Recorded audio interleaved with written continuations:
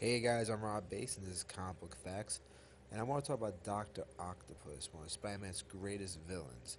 So this comes from the Marvel Trivia set, so you get this awesome picture of Doctor Octopus, and on the back, a brief bio. You can read it yourself right there about Doctor Octopus and how his evil schemes and him performing experiments led to his arms becoming living things. So that's it, guys. Don't forget to subscribe to the channel.